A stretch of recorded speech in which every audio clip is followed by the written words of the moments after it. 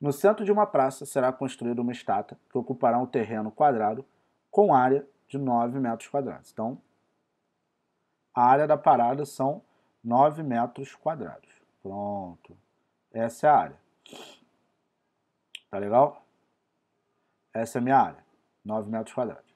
O executor da obra percebeu que a escala do desenho, ó, escala, acabou. E aí você tem que saber que escala, eu botar aqui embaixo que eu faço a questão aqui. Você tem que saber que escala, qual é a relação da escala? É o tamanho no desenho, tá?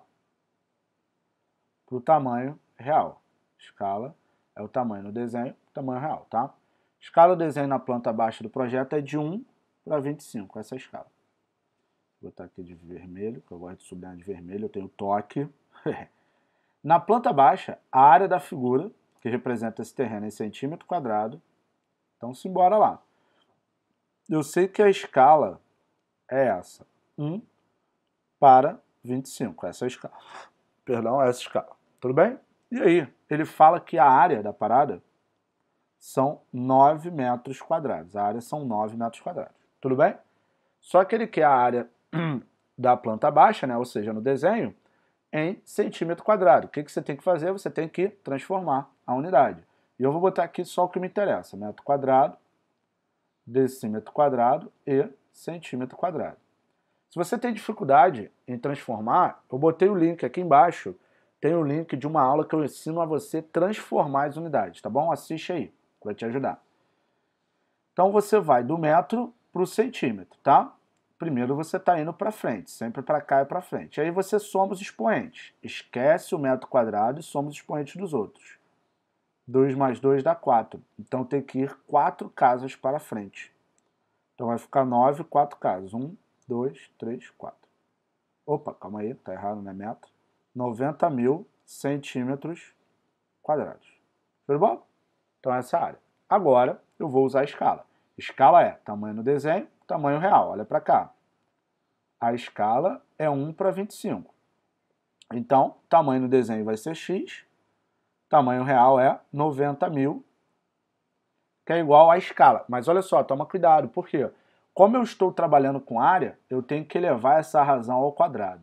Ai meu Deus, sempre que você tiver a escala estiver trabalhando com área, você eleva ao quadrado. Se for volume, você eleva ao cubo essa razão. Tudo bem? E aí sim vai dar certo. Então vai ficar x sobre 90 mil igual a 1 sobre 625. Agora eu pego e multiplico cruzado. Vai ficar como a brincadeira? 625x igual a 90 mil.